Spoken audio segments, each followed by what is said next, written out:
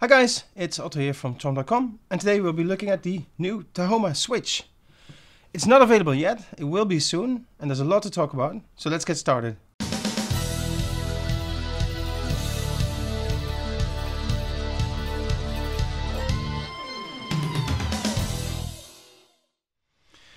So the Tahoma has been around for quite a long time, more than 10 years. But for a lot of people it's still new.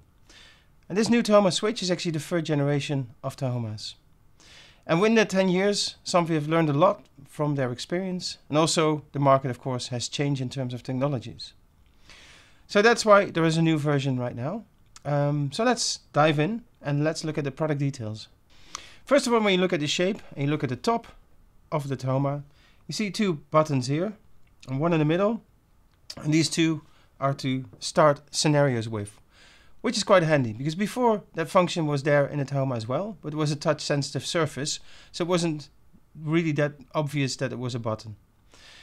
In the new Tahoma, it's a nice combination of design and buttons where you can clearly see what you need to do and let's press them.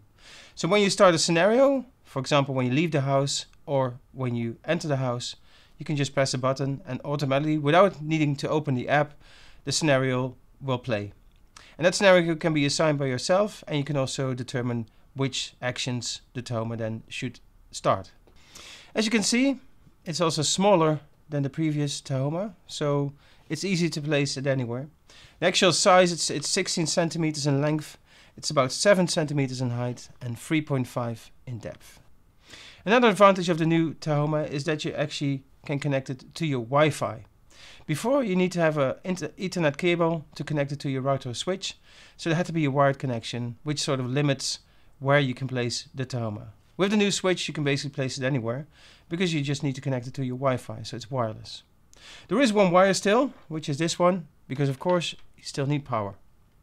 This is a USB cable, but you do need this specific one because there's a connector here, as you can see, which is particular to the Tahoma and that's because you need to be able to click it in. And once it's clicked in, it fits nice and snug with the housing of the Tahoma itself. That's the only cable you need, the rest is wireless.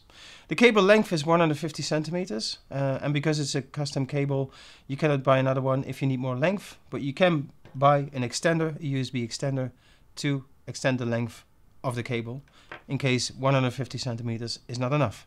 So that's the outside of the Tahoma. Let's look at what it can control. So it can control 200 I.O. products, and that's a lot. That's a lot more than the previous Tahoma. It can also power or control 50 RTS products. So that's I.O. and RTS, which are Somfy protocols, and you can control a lot of those. You can also control up to 40 sensors.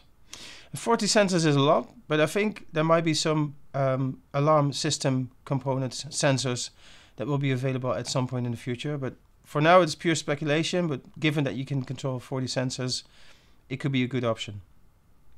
Now, it's not just Somfy protocols that can be controlled. Um, you can no longer control Z-Wave through um, the Tahoma, but you can control Zigbee 3.0. So that's the new protocol that the Tahoma can now control as well.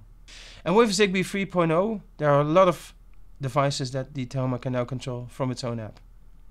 For example, this IKEA lamp with integrated speakers from Sonos.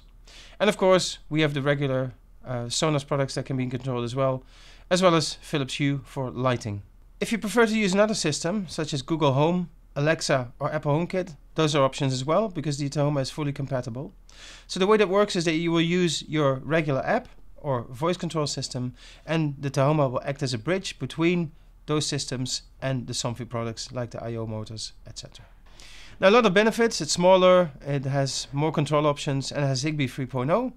Let's look at the price. And that's a good new that's good news as well because before it used to be 2.99 as the advised price and now it will be 1.99. So it's a lot cheaper as well. So that's you're getting actually getting more in a smaller package and you're paying less. So that's good news. As far as availability is concerned, um, it will replace the current Tahoma, but we don't know yet exactly when it will happen. So that's uh, that's pending at the moment. It could be this month, as soon as that, but it could also take a little bit longer. So we have to wait for that. As soon as it is available, of course, we'll let you know. And for future videos, of course, we'll go more in depth about the control system itself. So we'll look at how easy it is to connect devices, how easy it is to set up scenarios, etc. Because that's also supposed to be a big benefit of the new Tahoma. For now, thank you for watching. If you have any questions, let me know at info at tromm.com. And I'll see you in the next one.